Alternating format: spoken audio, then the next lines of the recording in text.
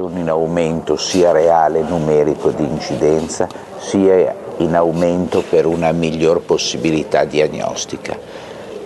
Sono pazienti eterogenei, pazienti con tumore neuroendocrino, è una patologia che ogni anno interessa ormai 2500-2700 nuovi casi in Italia, una prognosi verosimilmente meno aggressiva di quella di altri tumori, quindi si pensa che oggi in Italia ci siano intorno a 24.000, non è un numero piccolo, pazienti portatori di tumore neuroendocrino. È un farmaco che ha dimostrato la sua efficacia sia nei pazienti con sindrome da carcinoide sia nei pazienti senza sindrome da carcinoide nel migliorare la qualità di vita, nel migliorare la risposta biochimica, cioè i livelli essenzialmente di cromogranina, nel migliorare l'attesa di sopravvivenza. Ecco, su quella che è l'attesa di sopravvivenza ancora non abbiamo dei dati così definitivi così netti, ma il feeling, il sentore di tutti gli oncologi è che questo è un farmaco tra virgolette vecchio, ma è un farmaco che continua ad avere un'efficacia importante nel trattamento di queste neoplasie. Tenere viva l'attenzione su una patologia che non deve essere bistrattata e misconosciuta. Il messaggio più importante che credo che voglia venire è quello di cercare di lavorare in un gruppo il singolo farmaco può fare una parte in un processo di cura ormai, non, è,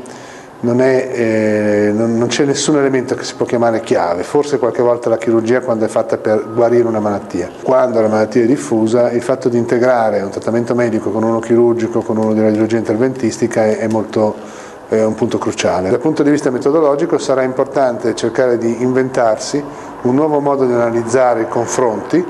per far emergere eh, quanto conti una strategia di cura e non un singolo trattamento, perché è quello che farà la differenza in questa patologia e quindi come in molte altre. Siamo abituati a misurare il singolo farmaco che sembra non dia grossi risultati perché magari prolunga la sopravvivenza di un malato di qualche mese e non è considerato un evento rilevante. Non si tiene conto che quel qualche mese può servire per fare un intervento chirurgico, per fare una radioterapia, per fare un approccio di medicina nucleare, è un magnifico banco di prova per mettere a punto dei, proprio dei nuovi modi di fare ricerca. In oncologia in generale sia molto molto importante avere una visione di insieme del paziente, da un essere umano che ha tutta una serie di disturbi, spesso concomitanti, con tutte le problematiche connesse.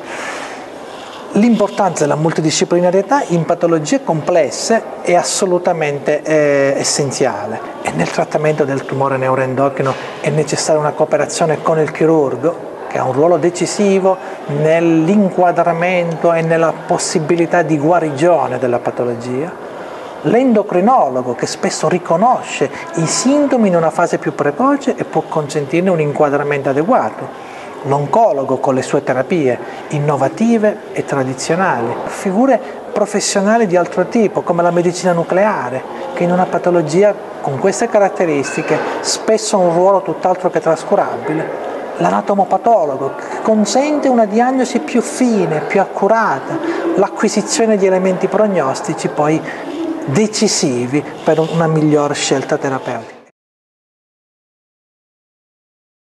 Queste patologie neoplastiche eh, sono molto simili eh, fra loro, nella sintomatologia sono molto simili nella, nel trattamento. Le informazioni che riesce a dare il, il patologo eh, rappresentano il discrimine e sono eh, gli spiragli eh, ne, eh, che utilizza il clinico per studiare l'approccio terapeutico.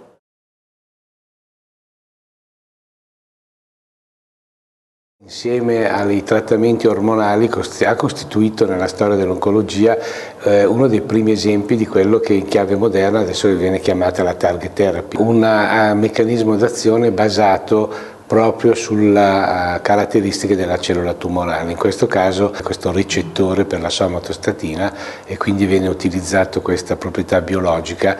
uh, in due diverse maniere, quello che è il biomarcatore che deve de definire in qualche modo l'appropriatezza di una terapia e il bersaglio della terapia stesso. La somatostatina e il suo ricettore rappresentano un esempio di come le due cose coincidano. Uno dei limiti che ormai sono stati provati delle cosiddette target therapy è che queste terapie tendono a rendere il tumore, a bloccare la crescita del tumore, ma non a eradicare eh, la malattia. Nel caso del cancro il problema è costituito invece dal fatto che tenere nell'organismo delle cellule tumorali, anche se ferme, data la loro instabilità genetica, si possono generare delle riprese di malattie che è quello che si vede. Con la somatostatina e i suoi analoghi abbiamo invece un'opportunità di coniugare i due concetti, una terapia target ma che elimina eh, eh tutte le cellule tumorali.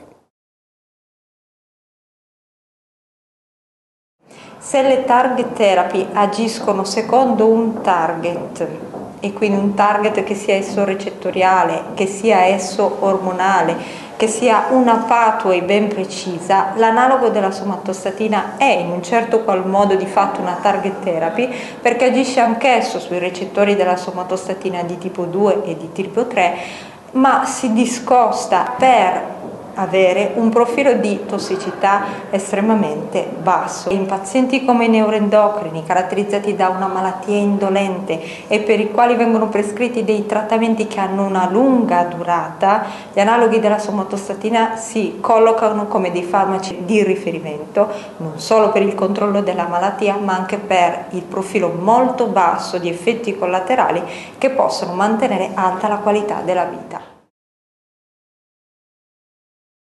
Sono un mondo ancora tutto da scoprire perché la biologia di, questi, di, di, questo recettore, che è il recettore della somatostatina, che rappresenta il target della nostra terapia, è ancora in corso di eh, sviluppo per quanto riguarda le sue conoscenze, quindi stiamo ancora caratterizzando il significato di questo recettore in questi tumori e eh, quindi possiamo tirar fuori negli studi che stanno venendo fuori adesso e in quelli successivi nuovi, eh, nuove informazioni che ci permetteranno di utilizzare al meglio, magari con un dosaggio più alto di quello che utilizziamo oggi questi farmaci.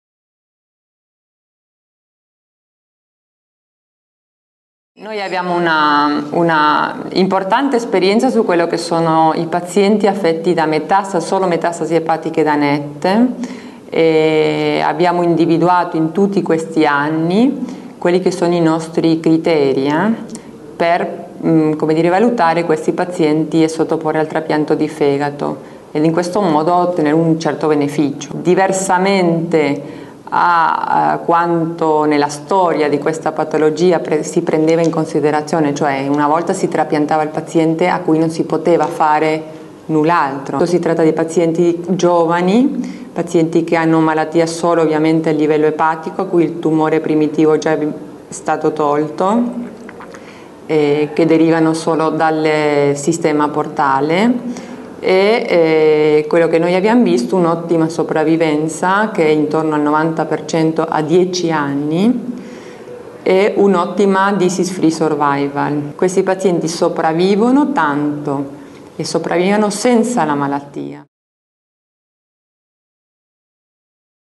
Un centro eh, che fa anche un'attiva ricerca, cioè una porta rapidamente al letto del paziente l'innovazione, in generale ha dei successi clinici maggiori e questo è il caso di questo tipo di tumori, di questi tipi di tecnologie che per esempio richiedono anche una adeguata e molto strutturata medicina nucleare. Chiaramente sono delle malattie che pur nella loro numerosità sono abbastanza poco frequenti e questo fa in modo che soltanto centri che eh, assommano nella loro esperienza dei numeri significativi diano garanzie al paziente di una certa esperienza. Sono credo 27 centri in Europa certificati da questa associazione di tumori neuroendocrini e anche questa è una garanzia di appropriatezza delle diagnosi e delle terapie che vengono fornite. Mi occupo dei tumori neuroendocrini dal 1966, sia in termini di pratica clinica o assistenza all'ammalato, sia in termini di produzione scientifica. È una patologia molto particolare con delle caratteristiche che richiedono una grande esperienza e un'ottima preparazione. La prima delle criticità riguarda la corretta interpretazione dell'esame istologico. Non basta farlo, bisogna saperlo leggere condiziona pesantemente le scelte terapeutiche che sono almeno quattro e quindi un medico deve essere preparato per sapere quale deve utilizzare e comunque quale sequenza dare alle risorse terapeutiche disponibili. Ogni volta che vedo un paziente essere curato in un ospedale di limitate dimensioni e non in un centro di riferimento specializzato, osservo che la terapia non è al meglio, la diagnosi non è sempre corretta, l'iter terapeutiche alle volte è sofferente.